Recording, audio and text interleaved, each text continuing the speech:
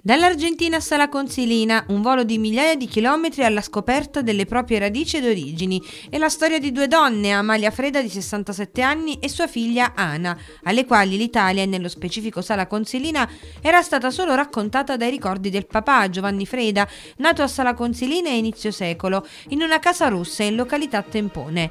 All'età di 30 anni aveva però scelto di lasciare l'Italia alla volta dell'Argentina, affrontando un mese di viaggio in nave e creandosi lì una famiglia.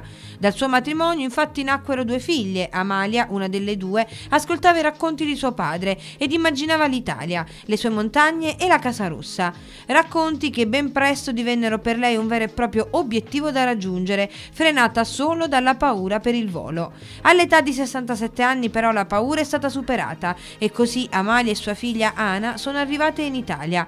Per prima cosa hanno fatto una ricerca genealogica al comune, dopodiché sono andate alla ricerca della loro famiglia che mai avevano conosciuto. Nessuno qui sapeva chi fossero, ma loro sapevano cosa cercare e così la loro ricerca le ha portate a incontrare quei familiari mai visti prima. Un incontro davvero emozionante tra lacrime e abbracci. Amalia e Ana hanno trovato a Sala Consilina il calore che cercavano, la famiglia a cui anelavano e soprattutto il verde delle montagne, la casa rossa dove Giovanni e i suoi dieci fratelli nacquero e dove ebbe inizio questo lungo viaggio.